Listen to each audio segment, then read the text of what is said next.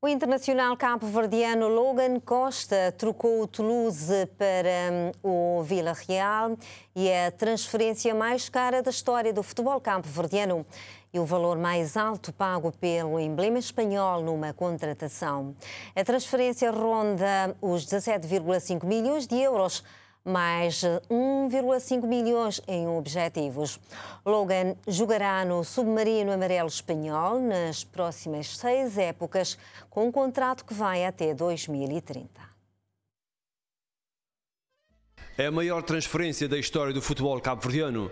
Logan Costa vai jogar nas próximas seis temporadas pelo Vila Real pelo valor de 17,5 milhões de euros e 1,5 milhões em objetivos.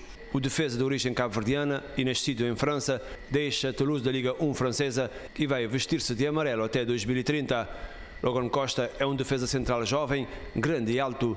Destaca-se pela contundência, capacidade de vencer duelos defensivos e poder de jogo aéreo, escreveu o site oficial do Submarino Amarelo, como é conhecido o Vila Real. Depois de um fantástico can e exibições de excelência ao serviço do Toulouse na passada temporada, Logan Costa ganhou a admiração dos representantes dos submarinos amarelos. O defesa nascido em Saint-Denis em 2001 chega à La Liga depois de uma notável experiência no futebol francês, onde jogou pelo Toulouse Football Club e o Le Mans. Na equipa de Toulouse ele se formou como um dos melhores defesas da Liga 1, onde disputou um total de 58 partidas e marcou 4 golos.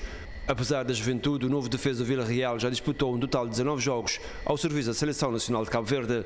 Nas categorias inferiores, defendeu os interesses da seleção francesa sub-17 e sub-16. Logan Costa é filho de pai natural de Santo Antão e foi formado no Stade de Reims de França. Jogou uma temporada no Le Mans, tendo feito 26 jogos e nas últimas três épocas representou o Toulouse. Pelo Toulouse, venceu a Taça de França 2022-2023 e a Ligue 2 em 2021-2022.